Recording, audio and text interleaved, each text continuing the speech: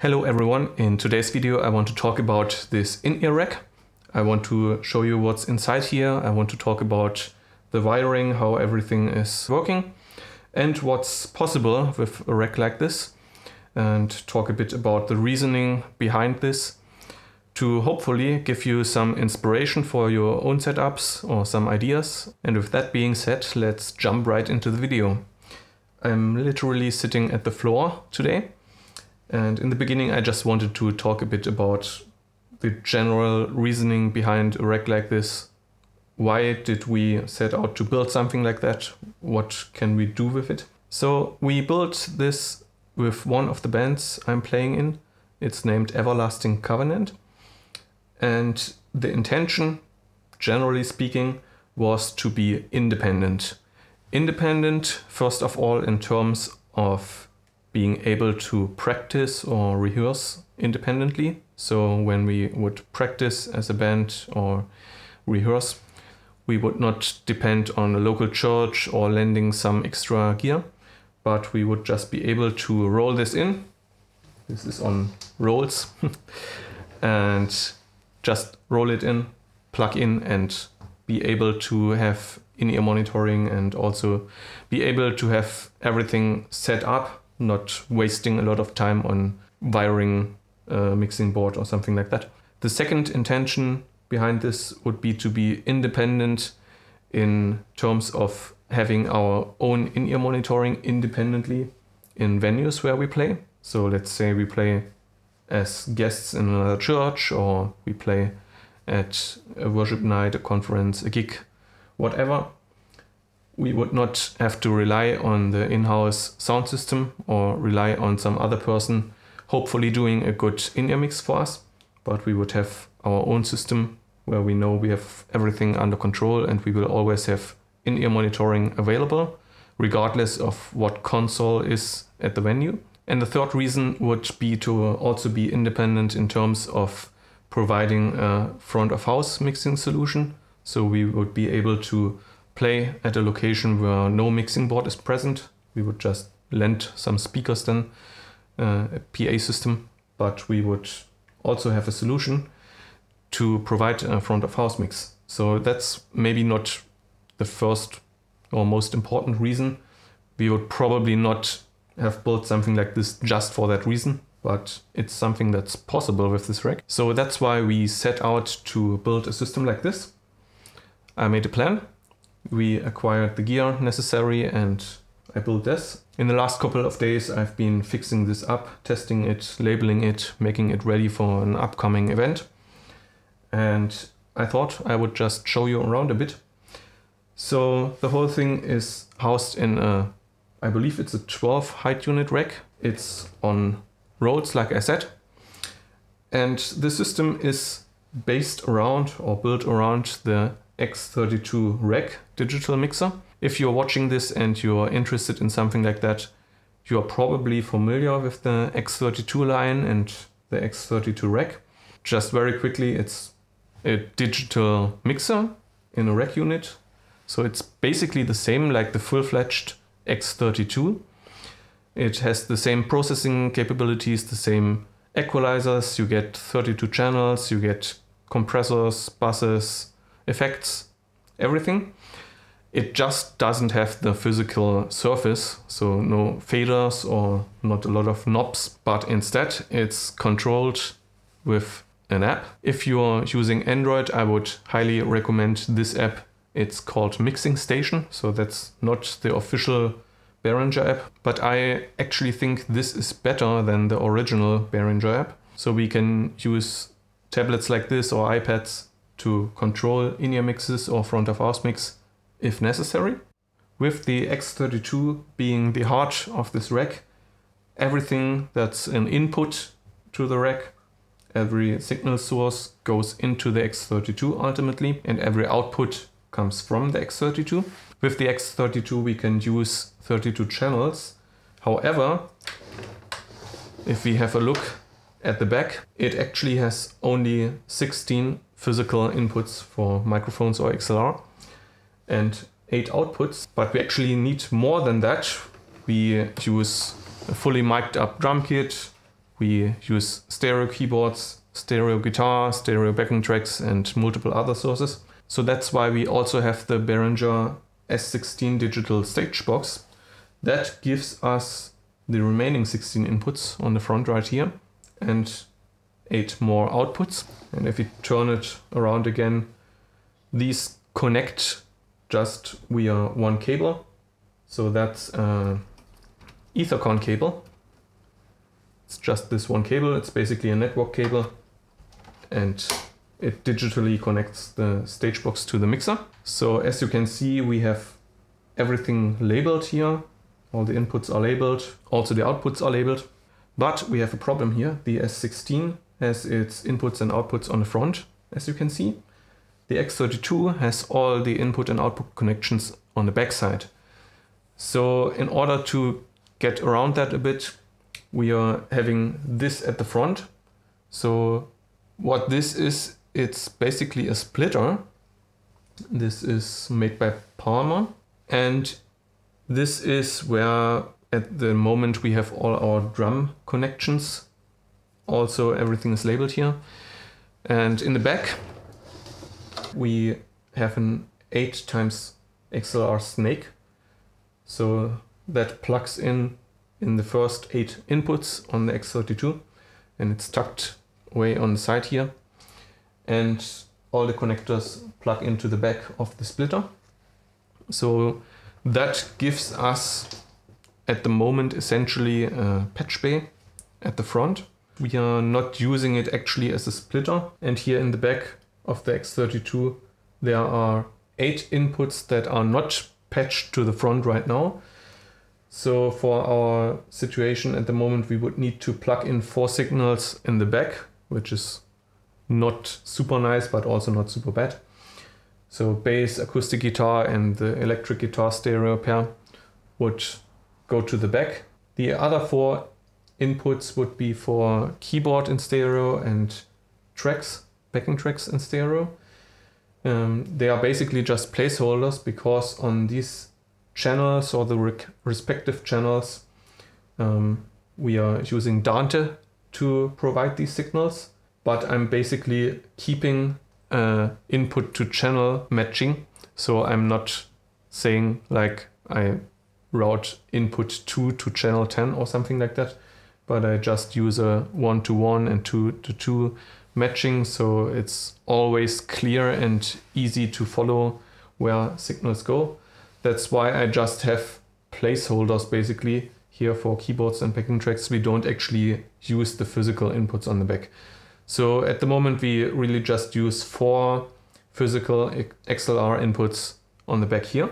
The reasoning behind getting a splitter was that we wanted to test a splitter. We actually had a different splitter there in the beginning, a Behringer unit also, and it was just too noisy. So we sent it back and got the Palmer one and this one seems to work really good.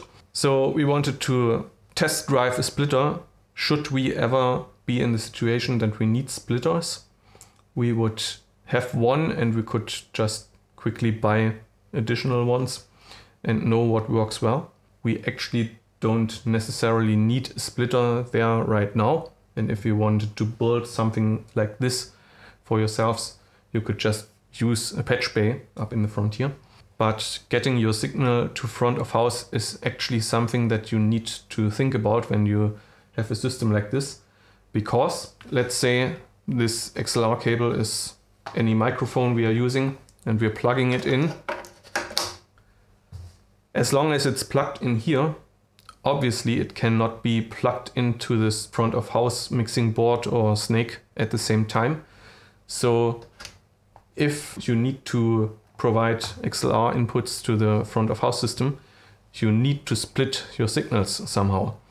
The other option would be, of course, to provide the signals to front of house digitally. So either via AES50 uh, from the Behringer or via Dante or some other solution. But if the front of house system supports none of that and you actually need uh, analog inputs via XLR, then a splitter would be the way to go. Or in fact, we would need more splitters like that.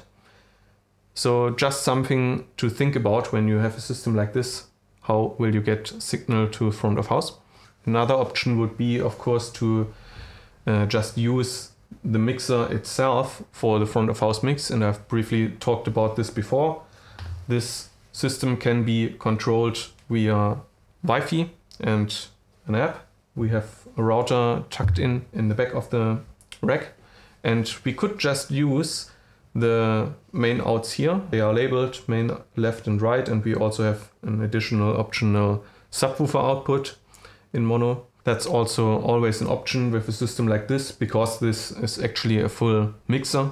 So obviously it can also do a front of house mix. It does have some drawbacks, more for the front of house audio engineer because the person needs to be comfortable mixing from a tablet, which is not the same like using an actual board. And you can't easily plug in headphones. You would have to have some other headphone connection to the rack for the front of house guy. And you are also depending on the stability of the Wi-Fi connection. So if the front of house engineer loses Wi-Fi connection with the tablet or something goes wrong with the router, then you have a real problem. So that would maybe be more something for a smaller venue or if there's no other option available, we can do front of house mixing with the mixer itself. The router, I hope it's visible on camera, is tucked to the top of the rack in the back. So we have the antennas here, can pull them out like this. They are a little bit in front of the actual opening. I hope that's visible. But I've measured it out and if the lid goes on, there's actually one finger or so behind this cable spacing, so nothing gets damaged. and we have the name of the network and the password on some tape inside the rack. I've covered it up now with a sheet of paper for obvious reasons for privacy, but if anyone wants or needs to connect to this Wi-Fi, we can just have a look inside the rack. The password is always there. The cables are routed at the side, so everything is secure, nothing is uh, floating around here. And in terms of power supply, we have a rack power supply in the bottom. It has eight power outlets in the back and eight in the front. And so we have a single uh, AC cable coming out of the rack. And in the front, we have additional eight um, power outlets that are not used at the moment. Now I've talked about the XLR inputs and outputs, the X32, the S16, but we actually have another input and output option, and that is Dante. So the X32 has the Dante card in the back right here, and we have a switch right here. That's just a normal Cisco switch. So in case you're not familiar with Dante, Dante is basically audio over IP. You can use regular network cables and network switches like this Cisco switch and plug in laptops or Dante enabled devices and send or receive audio anywhere in the network. We use it to feed in uh, signals to the X32. Uh, specifically, we use it for backing tracks and metronome via this laptop. And we also run our keyboards via MainStage directly into the mixer via Dante.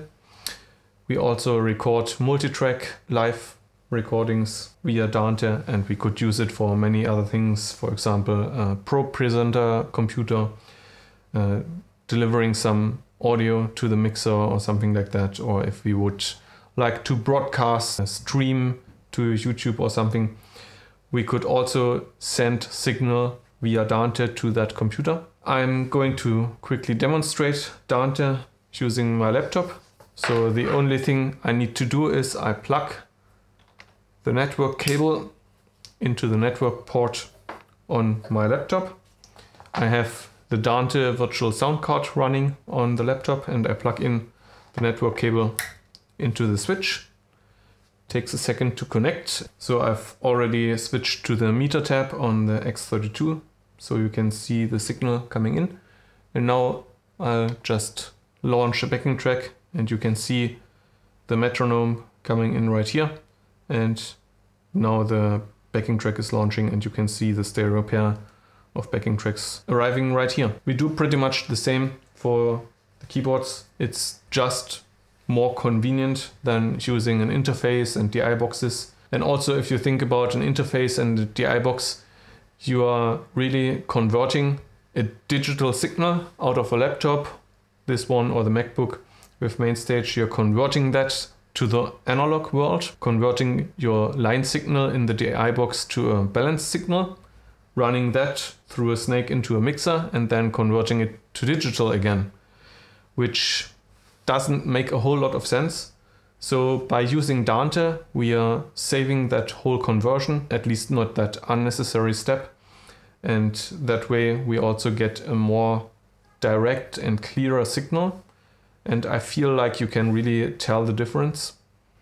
It's hard to tell, but if you have that on both the keyboards and the backing track, it really adds up to a clean and nice experience. At least that's what I feel. Of course, that's a little bit subjective. Uh, I might say I can feel it, but really it's hard to tell. Anyways, this way we save some cabling, we save some hassle, we have a better signal and we can easily expand this, like I said, to a Pro Presenter computer or a streaming computer or really anything we want to do. Dante is not necessarily cheap. It's a bit expensive, especially for the expansion card in the X32 that comes in at around 400 euros. And you need a switch. The switch though is not really expensive. There's nothing really special about it. It's just regular networking equipment. And you can also plug the laptop directly into the card. It has two ports in the back. So uh, if you are just using one connection for Dante, then you don't really need it. But then again, if you're using Dante, most likely you want to have more connections going on. So we have the switch right here. By the way, I've conveniently plugged the laptop to the power outlet in the front. So if we just have a laptop sitting at the top of the rack, we can use the power outlets like that. Convenient. So Dante gives us more flexibility as for inputs, but it also would be an option to route signal to a front of house point if that would support Dante not every digital mixing console necessarily supports Dante, but it would be an option at least. Now I've talked about physical inputs, XLR inputs on the back of the X32, the Stagebox and Dante. And now I want to talk a bit about the outputs and the monitoring aspect of this rack. So the first option and the most important option for us is that the Behringer system supports Ultranet. And with that also comes support for the mobile mixers, the P16M mixers. So these also use network connections. So we can actually use these same cables. We have a whole pack of them and use them for Dante or for the P6, P16Ms. And in the rack, we have the P16D, I believe it's called, yeah. That's the network switch that provides the signal to all of these mobile mixers and we can just plug in to any port on the front here and have the P16M uh, get 16 channels of audio from the mixer.